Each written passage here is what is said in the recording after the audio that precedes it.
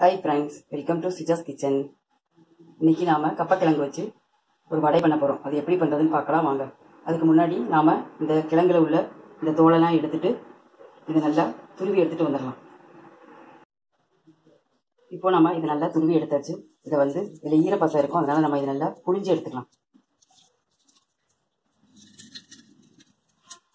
இந்த மாதிரி எல்லா இதையும் புளிஞ்சு எடுத்துட்டு வந்துடுவோம் கிழங்குல உள்ள தண்ணியெல்லாம் நல்லா பிழிஞ்சு எடுத்தாச்சு. இது கூட நான் ஒன்றரை மிளகாய் கத்தல் வச்சிருக்கேன். ஒரு அரை மணி நேரத்துக்கு முன்னாடியே கடலைப்பருப்பு ரெண்டு ஸ்பூன் ஊற போட்டு வச்சிருக்கேன். இப்போ இதை நாம மிக்ஸி ஜாரில் போட்டு அரைச்சி எடுத்துட்டு வந்துடலாம். ரொம்ப நைஸாக அரைக்க வேண்டாம். ஒரு சுத்து அல்லது ரெண்டு சுத்து சுற்றி எடுத்துருங்க போதும். கிழங்கு நல்லா அரைச்சி எடுத்துட்டு வந்தாச்சு. அதுக்கு கூட நான் கொஞ்சமாக கொத்தமல்லி கறிவேப்பிலை ரெண்டு ஸ்பூன் பச்சரிசி மாவு எடுத்திருக்கேன். கொஞ்சமாக பெருங்காயம் கொஞ்சம் மஞ்சள் தூள் அதுக்கு தேவையான அளவு உப்பு வெங்காயம் வந்து இப்படி சின்னதாக கட் பண்ணி வச்சுக்கோங்க. இது எல்லாம் மிக்ஸ் பண்ணிடலாம். நம்ம புளிஞ்சி எடுத்து வச்சிருந்த இந்த தண்ணியை நம்ம இந்த தண்ணியை மட்டும் வடிகட்டிட்டு இந்த மாதிரி எடுத்துட்டு இந்த மாவு மாதிரி இருக்கிறதே நாம் இந்த வடையோட சேர்த்துக்கலாம். வடை மாவோடு. இப்போ நம்ம எல்லாம் மிக்ஸ் பண்ணியாச்சு. இந்த மாவுலேருந்து இப்படி ஒரு சின்ன உருண்டை எடுத்து உருட்டி வச்சுக்கோங்க. இதை இந்த மாதிரி தட்டி நம்ம எண்ணெயில் போட்டு இப்போ பொரிச்சு எடுத்துட்டு வந்துடலாம். ஒரு கடாயில் எண்ணெய் காய வச்சுருக்கேன். அதில் நாம் இப்போ இந்த வடையை போட்டுக்கலாம்.